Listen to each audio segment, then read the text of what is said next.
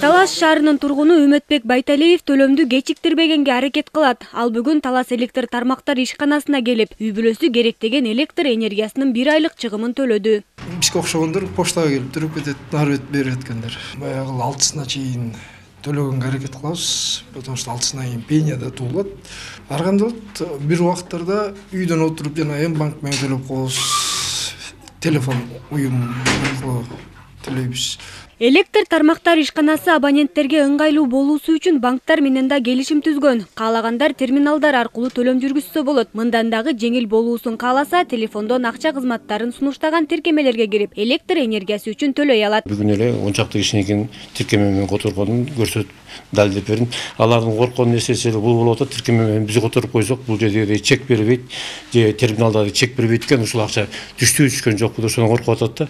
Бирок мен ушул каарадага кайрылып кетер элем эч коркпой эле которо бериш керек дагы бул арада болушпайт үйгө отуруп алып туруп которуп коюп анан бир нары өткөндө бери өткөндө кайрылып туруп билип койсо биз аны тактап беребиз бүгүнкү күндө талас электр тармактар ишканасына калктын карызы он жети миллион төрт жүз жетимиш бир миң сомду түзөт мекеме уюмдар беш миллион төрт жүз жыйырма үч миң сом карыз мындай абал электр тармагын артка тартып кедергисин тийгизүүдө энергетиктер пайдаланган электр энергиясына төлөмдү болушунча кечиктирбей убагында төгүүгө жана бул абалды туура түшүнүүгө чакырышат биз мисалы уюлдук телефонго бүгүнкү күндө алдын ала төлөм менен иштейбиз да. Алдын ала төлөйсүң сүйлөшүп бүттүңбү акчаң түгөндү болду түгөндү жок өчүп калды да.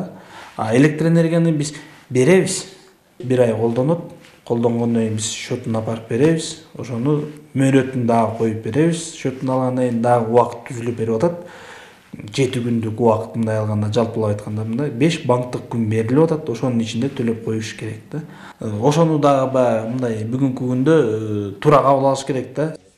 Облустук электр тармактар ишканасы элүү бир миң эки жүз отуз эки калк кардарына жана эки миң беш жүз токсон бир мекеме уюмга электр энергиясын жеткирет. Төлөмдү жүргүзүү учурунда кардарлар убакыттан уттурбашы үчүн электрондук кызматтарды да колдонсо болот. Үйдө жатып эле эч жака чыкпастан төлөп коюуга мүмкүнчүлүк түзүлгөн да бүгүнкү күндө но ошондой ошого карабастан тилекке каршы жана жогоруда айтып өтүргөндөй он жети миллион карызыбыз бар.